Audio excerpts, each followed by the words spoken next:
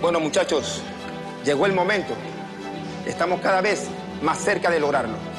En nosotros está depositada la nación de todo un país. Y tenemos la posibilidad de demostrarle al mundo que nosotros los panameños podemos alcanzar nuestros sueños. Que nuestra historia la han escrito personas como ustedes, que jamás bajaron los brazos. Ey, eso espera la fanaticada y que está lista para celebrar y están sedientos de gloria.